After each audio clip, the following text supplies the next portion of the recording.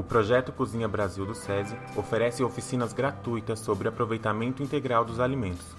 O projeto é uma iniciativa do SESI e contempla temas como educação alimentar, consumo de alimentos não convencionais como cascas, talos, raízes, folhas e sementes, conservação dos alimentos, higienização e manipulação de utensílios domésticos.